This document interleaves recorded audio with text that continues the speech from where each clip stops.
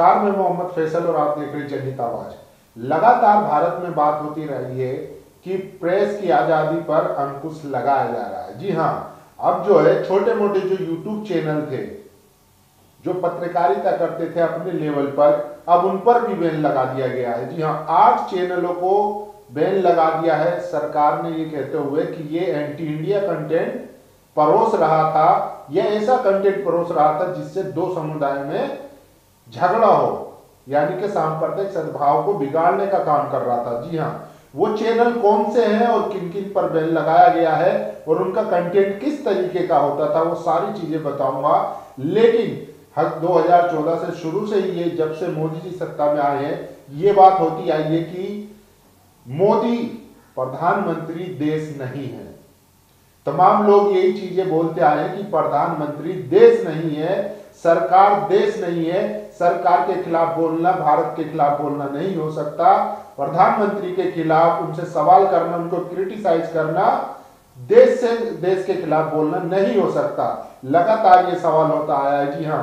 वहीं दूसरी तरफ़ सरकार जिस तरीके से लगातार कोशिश कर रही थी कि किसी भी तरीके से जो सोशल मीडिया है, उस पर अंकुश लगाया जाए, जी हाँ। उसकी अब शुरुआत हो चुकी है और ऐसे आठ यूट्यूब चैनल बंद कर दिए गए हैं जो सरकार से सवाल करते थे, जो जन सरोकार की बात करते थे कौन कौन चैनल है वो भी बताऊँगा एक एक करके, लेकिन ये समझिए कि सरकार का जो भारत में सोशल मीडिया को नियंत्रण करने का प्लान है, वो लगातार जारी है। और अब जिस तरीके से इन चैनलों को बैन किया गया है, उनको यूट्यूब से हटा दिया गया है, उससे आप अंदाज़ा लगा सकते हैं कि कौन से चैनल है और किस तरीके से उनको बैन लगा दिया गया है। वहीं अगर बात करें कि दो समुदायों में यह झूठ या प्रोपोगंडा फैलाने की बात करें तो फिर तमाम जितने भी बड़े बड़े टीवी चैनल्स हैं, चाहे वो आज तक हो जी हो, ऐसे तमाम चैनल्स है जिन्होंने बाकायदा सरेआम झूठ बोला। राहुल गांधी का केस आपको याद होगा, जब उन्होंने केरला में बाइट दी थी, लेकिन उसको जी न्यूज़ के एंकर ने उदयपुर कांड के संदर्भ में चलाया था। साफ़ साफ़ उस बाइट को झूठा परोसा गया था।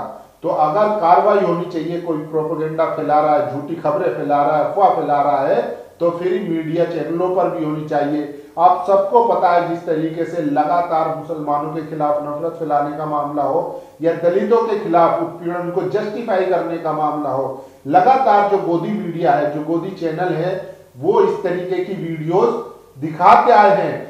आपको याद होगा 2000 के नोट में चिप वाली बात, वो वीडियोस आज भी वायरल है, लेकिन उनके खिलाफ कोई कार्रवाई नहीं होती है, क्योंकि सबको पता है कि वो सरकार के चमचे हैं, सरकार के जो एजेंडा है उसको प्रोपोगेट करते हैं। वहीं अगर एक सोशल मीडिया के ज़रिए जो छोटे मोटे पत्रकार हैं, वो सरकार से सवाल करते हैं, सत्ता से सवाल करते हैं जन सरोकार की आवाज़ उठाते हैं तो उनको एंटी इंडिया बताकर उनको दो समुदाय में नफरत फैलाने या झूठे वीडियोस बनाने के आरोप में उनको बैन कर दिया जाता है।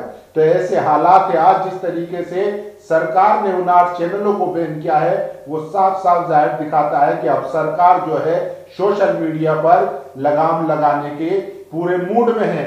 हो सकता है एक दिन जनहित आवाज़ बंद हो, एक दिन नेशनल दस्तक हो, लाइव टीवी हो, तमाम इस तरीके के जो सोशल मीडिया पर मजबूती से बहुजनों की आवाज़ उठाते हैं, अल्पसंख्यकों की आवाज़ उठाते हैं जो सत्ता से सवाल करते हैं, रोज़गार की बात करते हैं, अब उनको बैन करने की तैयारी शुरू हो चुकी है। जी हाँ उसमें सबसे पहला नंबर है लोकतंत्र टीवी का।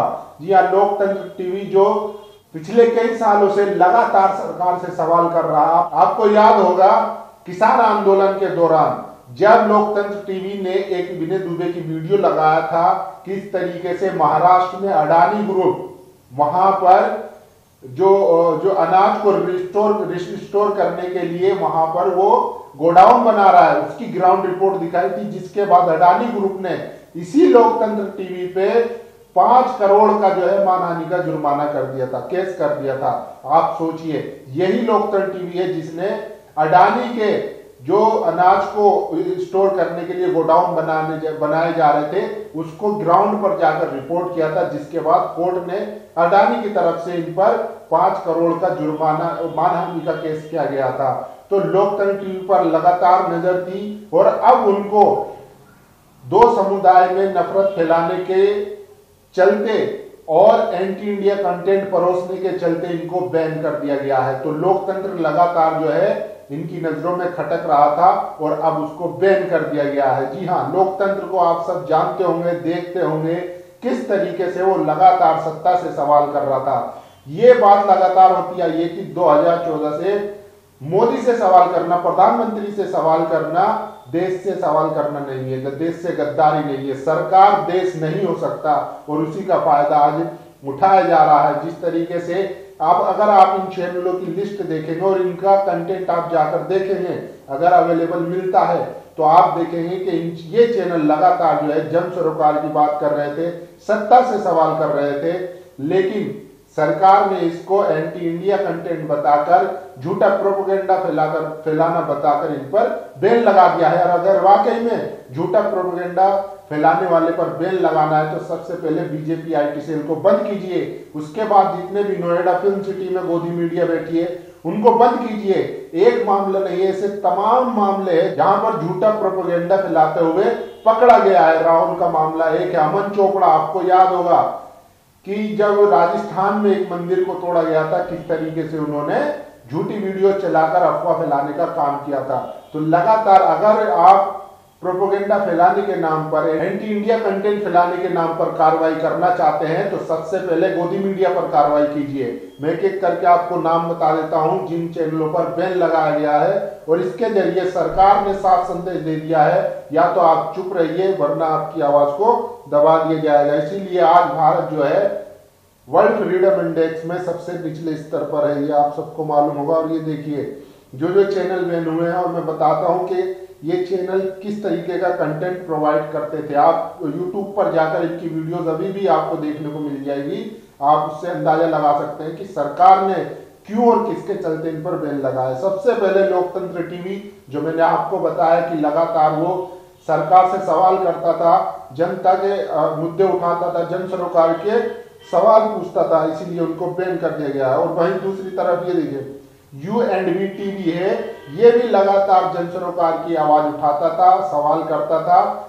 आप इसकी यूट्यूब पर वीडियोस आपको देखने को मिल जाएगी। हालाँकि चैनल तो अभी नहीं है, उसको बैन कर दिया गया, हटा दिया गया है। चैनल आप नहीं देख सकते हैं, लेकिन इनकी कुछ वीडियोस आपको ज़रूर मिल जाएगी। तो आप वीडियो देखकर समझ जाएँगे कि ये क्या कर रहे थे। क्या वाकई में एंटी इंडिया या दो समुदाय में संप्रदाय सांप्रदायिकता बढ़ाने के लिए काम कर रहे थे या जन सरोकार के लिए देश को मज़बूत करने वाली काम कर रहे थे, वीडियोस बना रहे थे। और ये देखिए, और तीसरा चैनल देखिए, एम रिजवी। एम रिजवी का चैनल, इनकी वीडियोस भी आप देख सकते हैं, चैनल नहीं मिलेगा, उससे भी आप अंदाजे लगा सकते हैं। और ये देखिए, तीसरा गौरवशाली पवन मिथिलांचल, इनके सात लाख सब्सक्राइबर थे। और ये देखिए सी टॉप फिफ्थ इनके तैतीस लाख सब्सक्राइबर थे और ये जो है, ये भी इसी इसी तरीके से सत्ता से, सरकार से सवाल करते थे। और इसको अगर आप इनकी वीडियो सोशल, उस पर यूट्यूब पर जाकर देखेंगे, वीडियोस मिल जाएगी। चैनल अवेलेबल नहीं है क्योंकि चैनल बैन कर दिया गया है। तो वीडियोस है, वहाँ पर जाकर आप देख सकते हैं कि ये किस तरीके का काम कर रहे थे। और फिर आप अंदाजे लगा सकते हैं या तय कर सकते हैं कि वाकई में सरकार ने जिस तरीके से इन पर कार्रवाई की है, वो सही है या गलत है। इसके अलावा ये देखिए, सरकारी अपडेट है और सब कुछ देखो, वही एक न्यूज़ की दुनिया जो पाकिस्तानी बहस है, उसको भी बैन कर दिया गया है, उसकी बात हम नहीं करते। लेकिन जो भारत में जो छोटे छोटे पत्रकार हैं, जो अपने जितने उनके पास फैसिलिटी होती है या जितने उनके पास सुविधाएँ होती है या जितनी उनके पास इक्विपमेंट होती है, उसी में रहकर वो अपने लेवल पर जनता के लिए काम करते हैं, सत्ता से सवाल करते हैं, सरकार से सवाल करते हैं और जन सरोकार के मुद्दे उठाते हैं। उन्हीं सब चैनलों को टारगेट करके, जिसमें सबसे बड़ा नाम है लोकतंत्र टीवी उनको बैन कर दिया गया है। आप अंदाज़ा लगा सकते हैं, सरकार ने अब साफ़ साफ़ कह दिया है, या तो आप हमारे सामने झुक जाइए वरना आपको खामोश कर दिया जाएगा। जिस तरीके से मिनिस्ट्री ऑफ़ इंफॉर्मेशन ब्रॉडकास्टिंग ने इनको बैन किया है, और उनकी, उनके पीछे जो वजह बताई है, वो ये है कि ये लोग थंबनेल और जो कंटेंट होता था, वो दो संप्रदाय में भावना भड़काने या फिर ज़्यादा एग्रेसिव कंटेंट इनके थंबनेल में होता था, जबकि हकीकत यह है कि ये सत्ता से सवाल करते थे प्रधानमंत्री मोदी जी से सवाल करते थे, आप अगर इनके चैनल को देखते होंगे, जानते होंगे तो आप लोगों को बताने की ज़रूरत नहीं है कि किस तरीके से ये काम करते हैं। हो सकता है कल हमारा नंबर हो, परसों किसी और का नंबर हो, दलाई टीवी है, नेशनल दस्तक, ऐसे तमाम जो बड़े बड़े चैनल हैं, जो सोशल मीडिया पर, जिनसे सरकार डरती है, जो जो सरकार की आँख में आँख डालकर सवाल करते हैं, जन सरोकार के सवाल करते हैं, उन पर अंकुश लगाने की कोशिश। शुरू हो चुकी है, मुहिम शुरू हो चुकी है। और ये ये ये खबर थी कि किस तरीके से आज सरकार ने फ्रीडम ऑफ़ एक्सप्रेशन को कुचलने का काम किया है। जो लोकतंत्र की मजबूती के लिए काम करते हैं, उन्हीं को दबाने की कोशिश की जा रही है। इस वीडियो पर आपकी क्या राय है? क्या वाकई में आज भारत सोशल मीडिया कंट्रोल कर कर जिस तरीके से अरब कंट्रीज़ में होता है जो तानाशाही, जो रवैया है डिक्टेटरशिप वाला मोड ऑन हो चुका है, इस पर अपनी राय ज़रूर दीजिए। शुक्रिया।